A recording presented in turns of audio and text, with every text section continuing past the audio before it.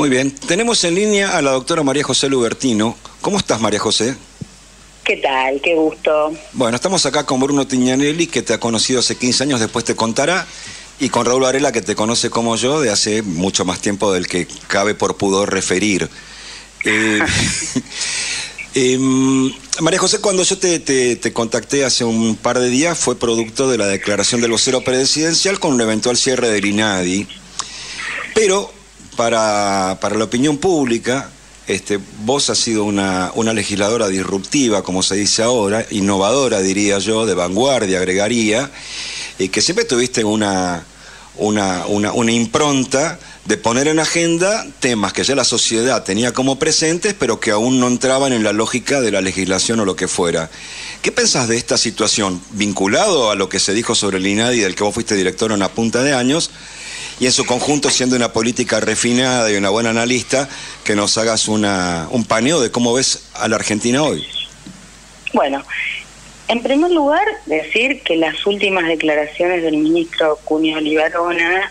de alguna manera desdicen o retroceden en relación a el destino del INADI, porque primero estuvo las declaraciones del vocero, después el presidente subiendo la imagen del león contra el INADI, Finalmente apareció Puñal Barona diciendo que se iba a hacer por ley, porque nosotros explicamos que el INADI fue creado en 1995, eh, después de la voladura de la AMIA y de la Embajada de Israel, por iniciativa en aquel momento del presidente Menem, acordado con la DAIA y con el Centro Islámico, eh, y explicábamos toda la trayectoria de que eso fue creado por ley, que no podían borrar por Twitter, porque una mañana el presidente decide ir contra el INADI, eh, si no era a través de una ley. El ministro primero dijo que iban a mandar una ley, recordemos que eso sí estaba incluido en la ley Omnibus que se cayó o que dejaron caer o que la impericia de sus legisladores hizo caer, y luego en la última declaración que dio en Infobae, que en realidad el ministro dice que va a ir contra otros organismos, hay una un renglón donde dice que, bueno, en realidad no se va a mandar una ley, sino que el INADI va a funcionar dentro del ministerio como un centro de recepción de denuncias, etcétera. En primer lugar, lo que yo quiero señalar es que si no mandan una ley, el INADI no desaparece, sigue manteniéndose,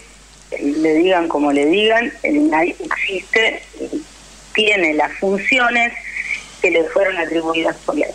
En segundo lugar, es un órgano descentralizado del Estado Nacional. Eso no lo pueden evitar porque de alguna manera las funciones y las misiones que se le dieron al INADI sirven también para controlar el propio Estado este, nosotros, de hecho, durante mi presidencia, que fue hecha con el consenso de todos los bloques parlamentarios en el año 2006, aplicábamos el Plan Nacional contra la Discriminación, la Xenofobia y el Racismo, incluso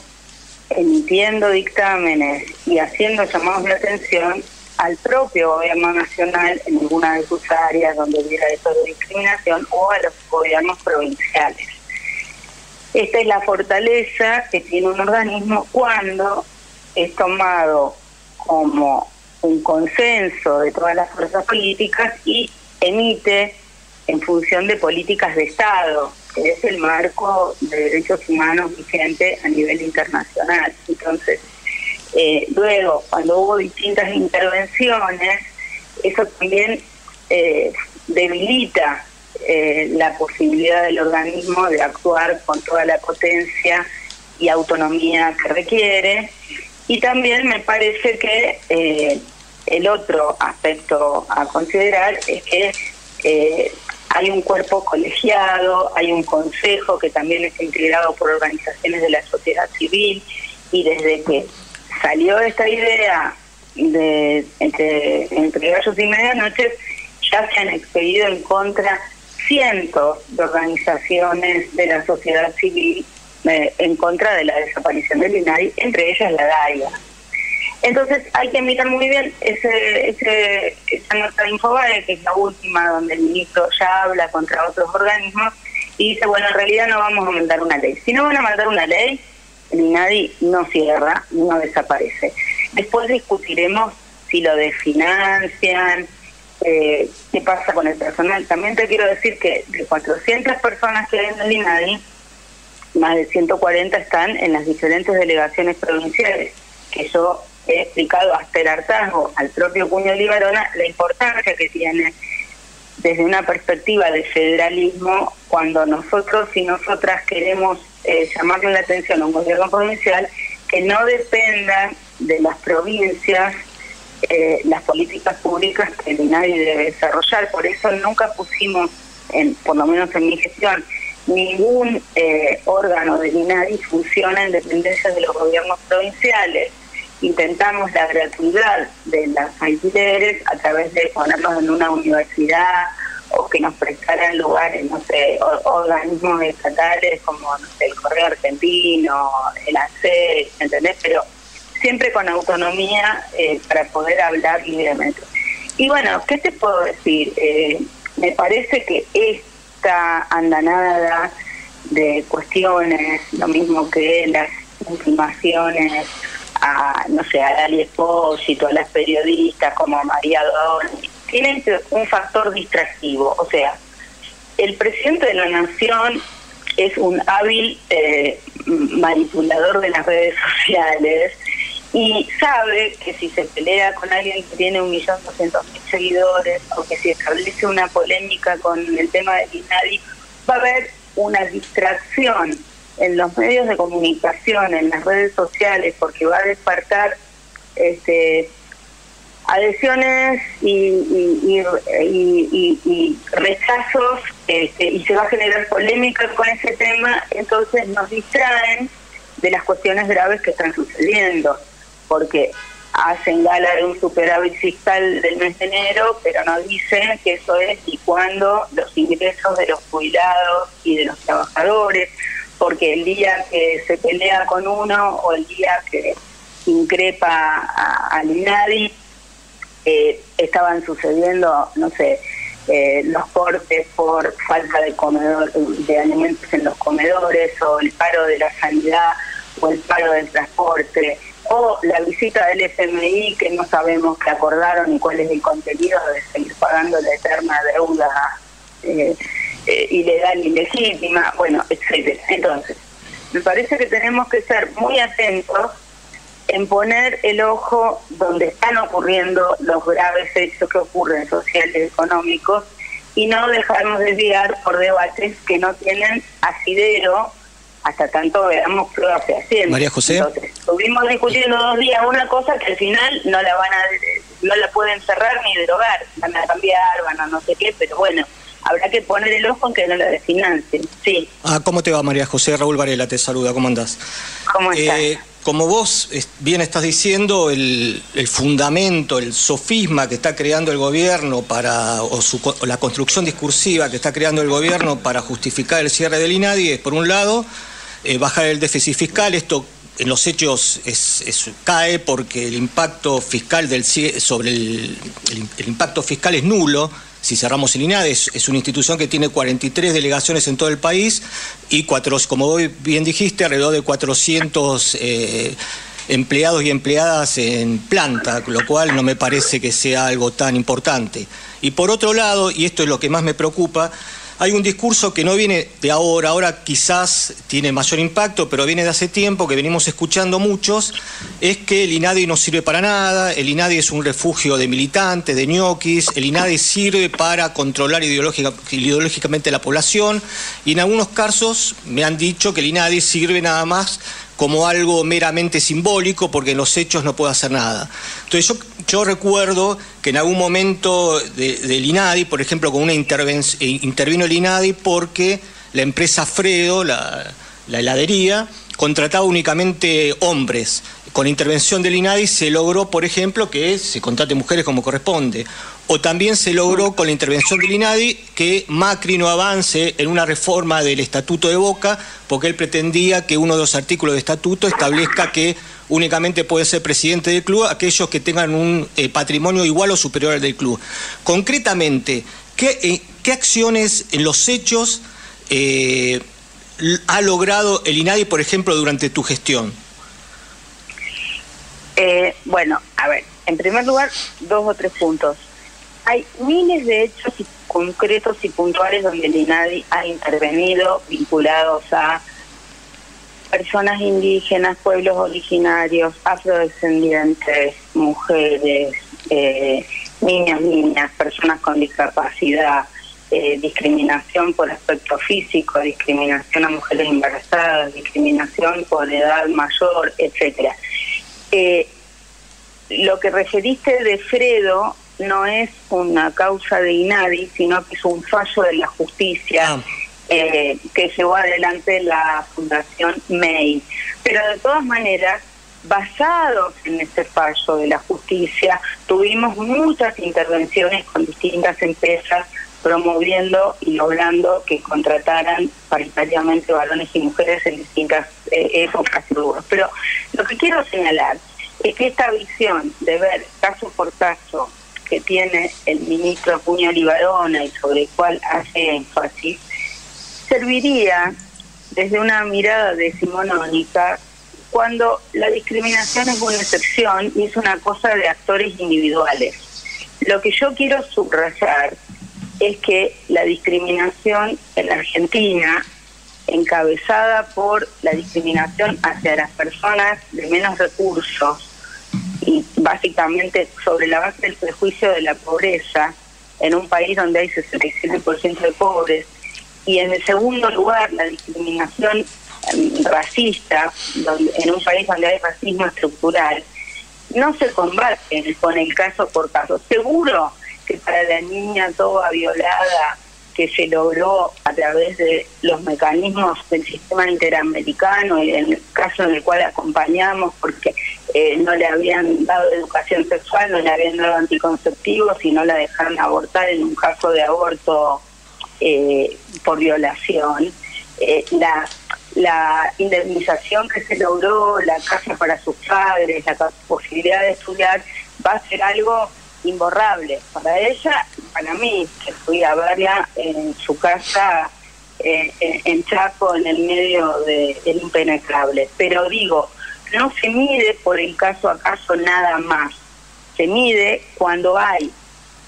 cuando logramos cambios en las políticas públicas que son discriminatorias. Entonces lo que te diría es, en un país con estas condiciones, la principal discriminación deviene del propio Estado y es estructural. totalmente. Entonces, nosotros tuvimos que promover cambios que tienen que ver con la edad en el empleo público o en el CONICET, que ponían topes de edad de determinadas características. Hicimos revisar a empresas sus planes de recursos humanos eh, establecimos convenios con los municipios y los intendentes para que tuvieran alguna oficina que trabajara en estos temas para cambiar al interior del propio municipio sus propias políticas públicas que podían ser discriminatorias. Entonces, lo más importante del INADI no pasa por esta visión decimonónica. Por supuesto que es importante todas las mediaciones que se lograron, y nosotros, yo en particular y otras organizaciones, enviamos un proyecto de ley al Congreso de la Nación para darle al INADI poder de policía, que no lo tiene. Y queríamos que el INADI pudiera aplicar multas como lo hace el Ministerio de Trabajo cuando se infringe una ley laboral. Bueno, que las leyes discriminatorias permitieran aplicar multas. Eso permitiría, y le doy una idea al, al ministro, eso permitiría eh, recaudar en base a las multas que se apliquen y aminorar lo que él entiende que son gastos por parte del INADI. Este, entonces digo, me parece que hay ideas para poder resolver problemas que se pueden resolver de una manera distinta y no anunciando que deje de funcionar o de, o de existir un organismo que tiene un rol este, emblemático, reconocido internacionalmente y donde muchos países, como es el caso de Francia, Inglaterra, este, o Reino Unido y México, cuando crearon sus organismos, tuvieron en, en, miradas, tuvieron bajo análisis cómo funcionábamos nosotros, tuvimos fructíferos intercambios, ellos aprendieron de nosotros, nosotros aprendimos de ellos, es decir, se avanza yendo por adelante. Yo estoy de acuerdo con desburocratizar, estoy de acuerdo con este si, si ellos detectan que hay un ñoqui, yo nunca amparé ningún ñoqui durante mi gestión, trabajábamos todos 7 por 24, es más, tuve que dialogar con los gremios para ver cómo lográbamos este, que hubiera guardias de fin de semana, que hubiera este, 24 eh, horas eh, toda la semana de atención en las líneas telefónicas, porque en esa época no había nada. María, este, María José, eh, ¿cómo estás? Eh, Bruno Tiñanelli te hablo. Yo me acuerdo que tu gestión coincidió con, con un debate eh, muy importante en, el país, que fue la ley de matrimonio igualitario. Eh, en esa época yo estaba laburando con unos yo estaba laburando con unos pibes de, la UBA de diseño imagen y sonido eh, para hacer un corto que después fue un, laburo que hicimos que, colaboró mucho en la campaña. Y me acuerdo que uno de los primeros primeros contactos que tuvimos fue con vos que nos diste una carta de aval y esa carta de aval desde INADI nos permitió la conseguir el financiamiento y poder hacer ese, ese laburo en ese momento. Claro, lo que te quiero decir es que me estás dando un ejemplo, más allá del ejemplo puntual de tu aval, que era simplemente tratar de estar en todo y ayudar y apoyar y mover este generar movimiento, generar conciencia, sensibilizar. Pero el ejemplo que das de la ley de matrimonio igualitario, yo estoy absolutamente convencida que sin haber abierto las puertas del Instituto Nacional contra la Discriminación, la xenofobia y el racismo, para que a través de un debate participativo con la sociedad civil, con la ciudadanía, con todos los colectivos de sectores vulnerabilizados, así fue como se incorporó y en esa época también todas las organizaciones LGBT tuvieron espacio en nuestra mesa de diálogo y eso fue un apoyo muy importante desde Jujuy hasta Tierra del Fuego para poder llevar adelante la batalla cultural para la sanción de la ley de matrimonio igualitario, para la ley de identidad de género, para la ley de educación sexual integral y también para la derogación de los códigos este, locales eh, que eran discriminatorios hacia las personas trans, de todos los códigos de convivencia y todas las, normas policiales locales que perseguían a, las personas trans. Entonces, eso fue fundamental y lo hicimos